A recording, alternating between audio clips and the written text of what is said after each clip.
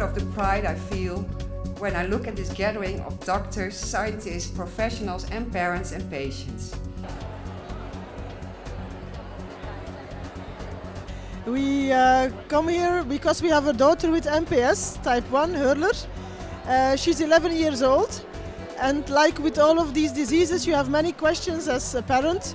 You want to um, preserve them as long as, as good as possible. And do you like it over here? Yes. Yes. Uh, can you tell us something more about the use of uh, a congress like this with patients and doctors? Now, I think it's it's twofold. I think for the patients, it's very important to to get more information on on the disease, on what's possible. Uh, and for the doctors, it's it's very important to see the patients. In fact, actually, it are the patients who make the difference, and these are the patients we, where we're working for. Dit is de eerste keer dat ik naar zo'n conferentie ga. Ik heb NPS 4 Morquio. Uh, ik ga proberen mijn grenzen te verleggen, wat dit allemaal inhoudt.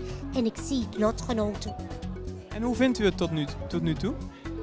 Zeer indrukwekkend. I think it's been really exciting. Um, there's a lot of scientific um, presentations on the different types of research and also clinical updates, so that's absolutely very exciting. Uh, and at the same time, you know, going to the family sessions, you get a chance to interact with the families and also with the patients, and I think that's a very tremendous experience for me. Okay, I might be deaf, but I still can't hear you. Whenever I go outside, people think I'm four years old. Albeit four years old with stubble. But um, yeah, if I find on stage people listening to me, people are laughing with me, and they get a bit of my personality. And I'm, I'm surprised to to have this opportunity to communicate with our experience with with each other, um, patients and families. And what was one of the most inspiring lectures or things you've heard or saw at this conference?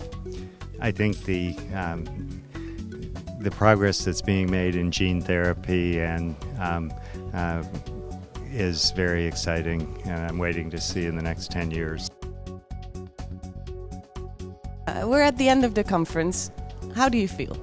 Uh, tired but very satisfied. I think we had a lovely conference and I, I only heard uh, feedback of uh, people who, uh, who thought it was very worthwhile uh, being here.